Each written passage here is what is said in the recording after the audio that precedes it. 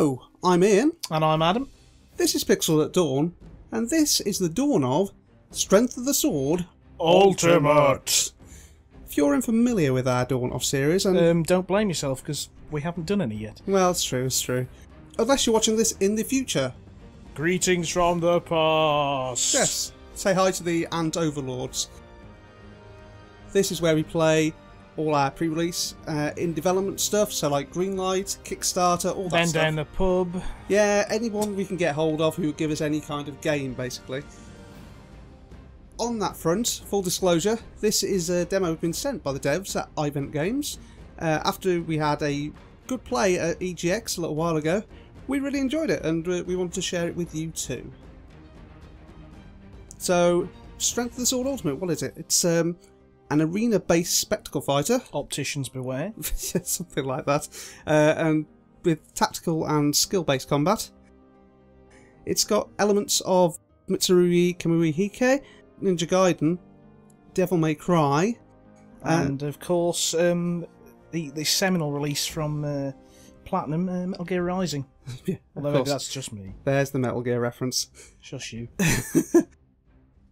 So, um, I guess we just jump in. Uh, yes, I think that's probably best. Hold on to your butts. So we get the story here.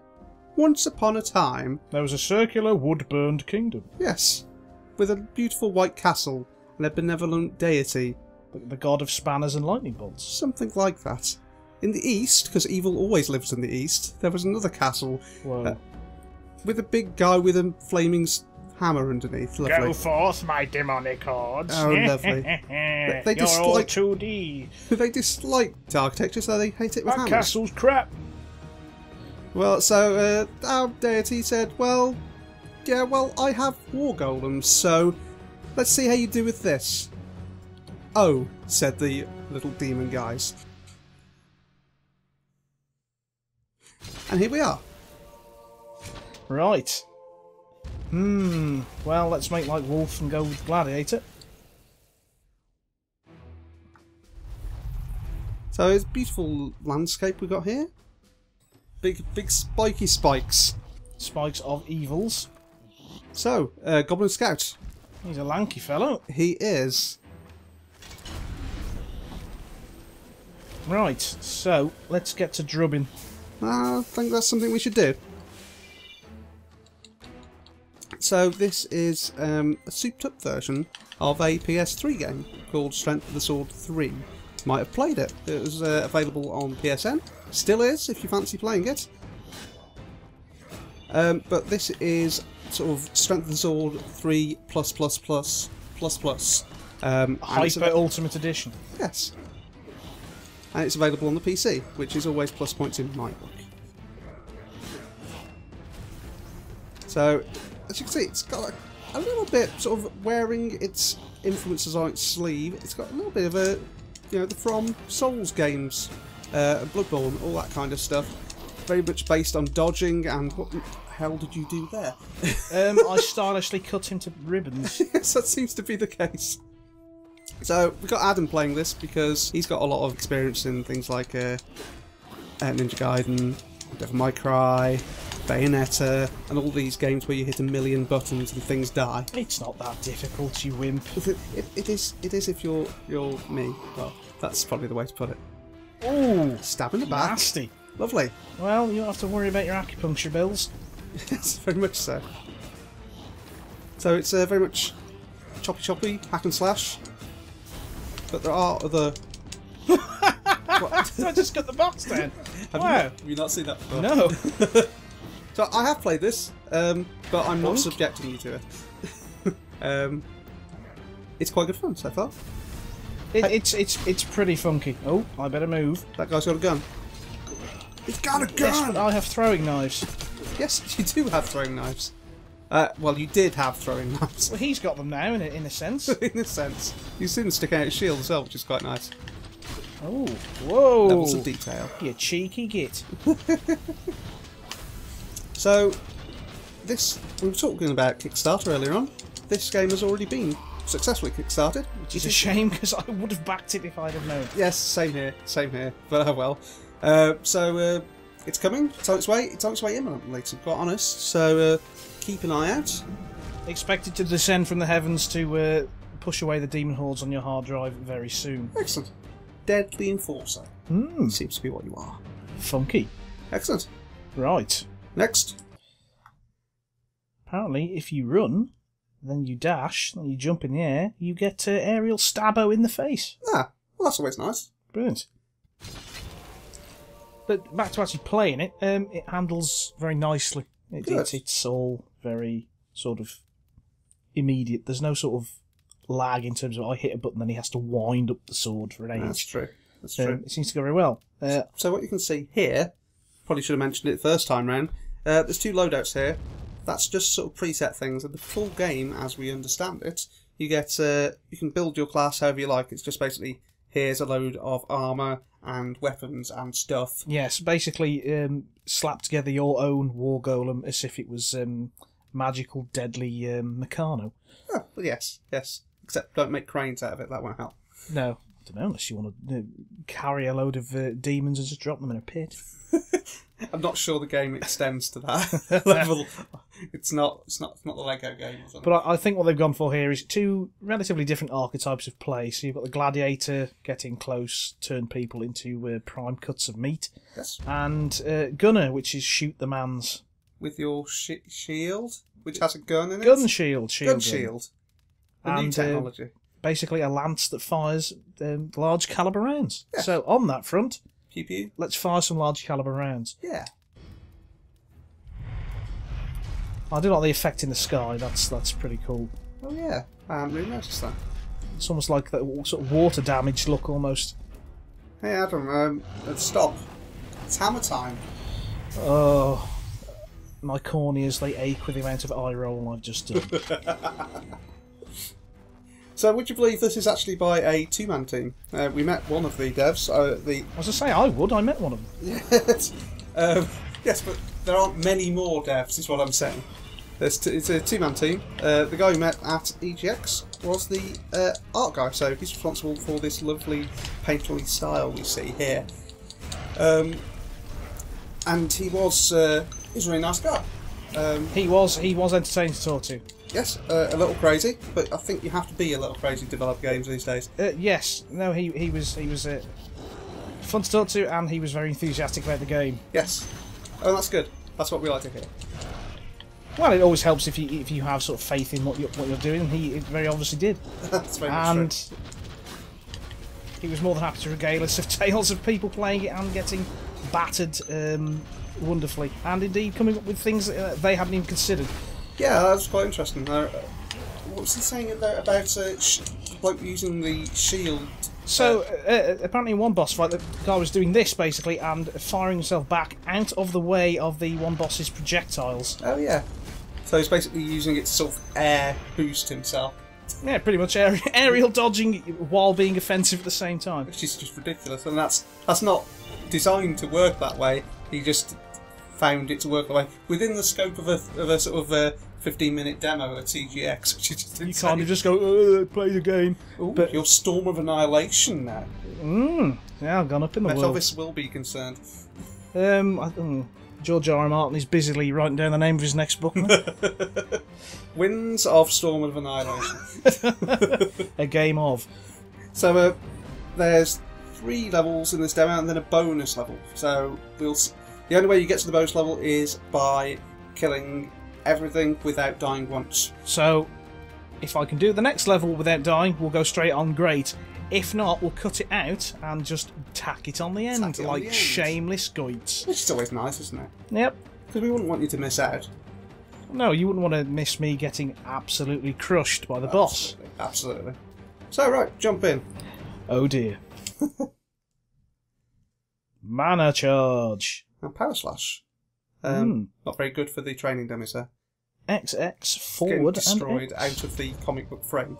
That's always handy. Well, let's stick with the gunner. Okay.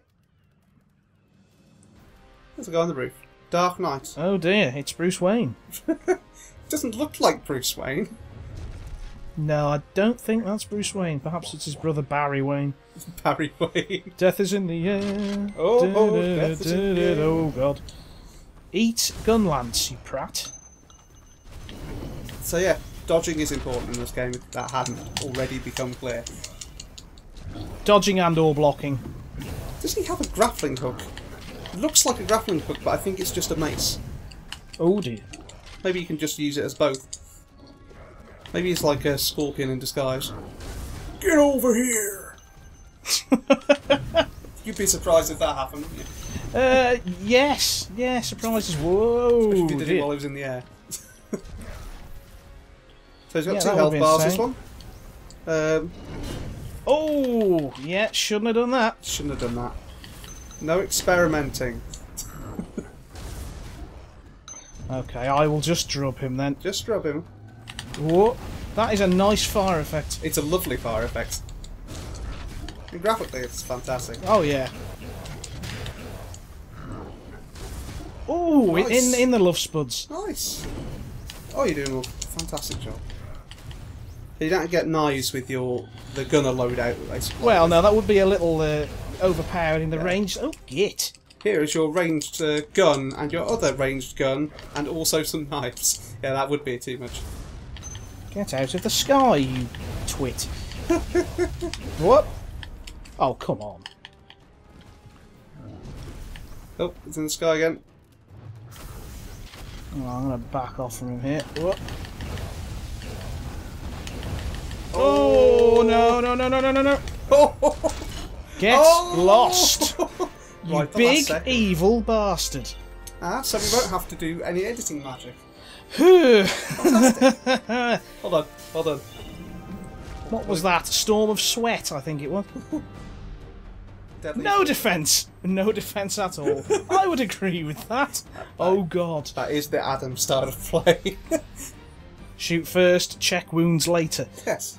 Right, So, So- this is going to be a bit of a uh, meat grinder. Yeah. I th- I th- well, although there's no meat on me. yeah. Right.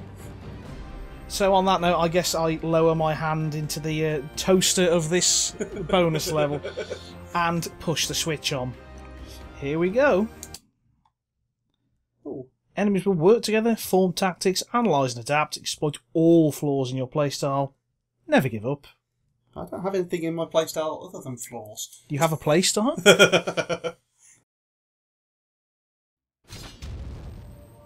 Epic bonus level.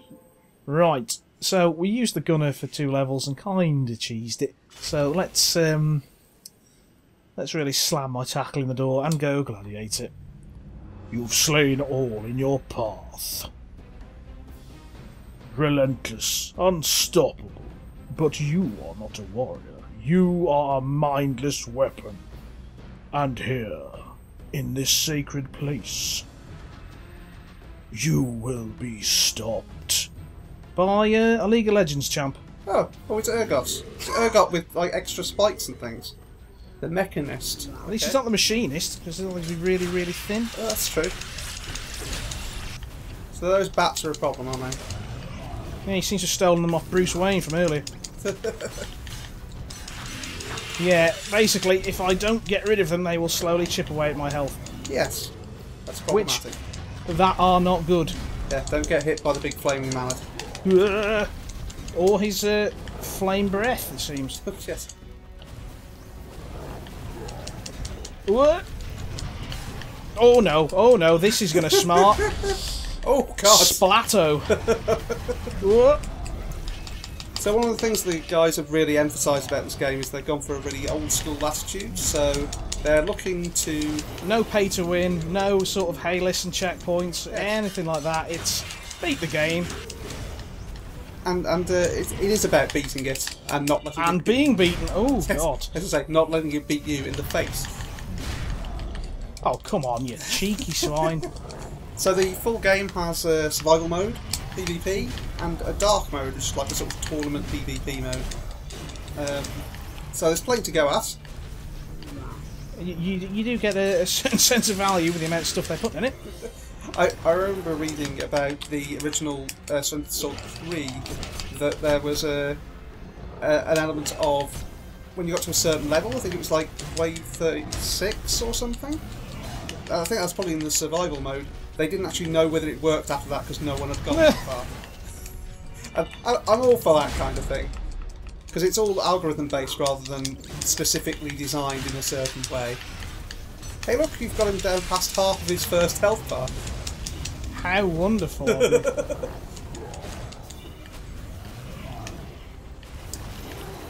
See, the problem is he's been quite a sod and locking off bits of where I could move by setting fire to it or having spikes coming out of it. Yeah, I mean, what the what Dev said to me at EGX was that whenever he starts casting, so you get the sort of red spots on the ground, Like that. is uh, you just dodge, dodge, dodge, don't die kind of thing. it's all about technique. What's he doing? What's he doing? Very close. oh, yeah. I will tread on your face, he says. On your face. Basically, if I can get him past his... Yes, I'm at the second health bar. That's all I wanted to achieve. Now you can retire happy. oh dear. Ah, kick in the face. Good challenge though, this.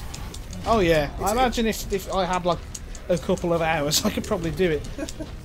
But it, it shows you that the game is both um, challenging, but that there are bits that you can do as well. Because you wouldn't want to play the first bit and think, oh, I did that, that was, that was easy. Uh, and then not realise that I this think is if, if you're not careful on the, even the first... Oh, there we go. Hey, oh, oh no, I have a tiny, possibly... Yes, I have a tiny, tiny little sliver of health left. Yeah, you, you can kill him with that, surely. I know you don't. Oh, You tr- tried your luck too much there, because that was the try your luck mechanic. yeah. If he, if he keeps uh, hitting you, I, there we go. I think it kind of glitched because I couldn't get off the floor. So uh, the your luck mechanic is uh, a route. You keep stabbing him, but if you keep stabbing him, then The, the release button steadily sort of shakes and gets bigger, and if it gets too big, um, you will be punished by whatever you're latched onto. how did you find that Adam? Uh, very good. I, I, I can see that being um, quite nicely stressful. Yes, I mean, I can definitely see us playing that co-op, and uh, Me dragging you, kicking and screaming. Well, no, be me who's screaming, but I was going to say who will be screaming there. It won't be me. but yeah, it looks like something we could definitely enjoy playing. it, it, it looks like something I'd like to sort of sit down and sort of learn the mechanics a bit more of. So, I mean, Uh, like you can see in this, where he's doing sort of dashes in the air and stuff. Um, I'd like to know how to do everything, so I have the full array of uh, death dealing options at my disposal. And I'll use my standard technique of throw myself against the wall until it breaks. Maybe Or my you face. break. Yeah. Might be my face, it might be the enemy, but who knows? That's the fun of it. It's, uh, so, this is uh, coming out soon. Uh, it's going to be out on PC, Mac, and Linux, all Um, next gen consoles, Egg boxes, cheese graters, pens, TVs, and uh, but but no mobile devices. So um, that's good. At least yes. but whatever, whatever they need to do to get money. so uh, uh, pick this up. It's coming out relatively soon. I don't know exactly when, but I'll put links to their website and Twitter and all that kind of stuff in the description, and you can go and have a look for yourself. So uh, I would also advise taking a look at their Kickstarter campaign. Uh, It, it's well worth the yeah, reading. starters are great. I mean, because um, the art guys uh, put together a load of cartoons, and the actual video and everything is uh, well worth watching. I think you'd actually quite enjoy that. So, uh, so definitely, I'll put a link to that as well, and you can go and have a look at it.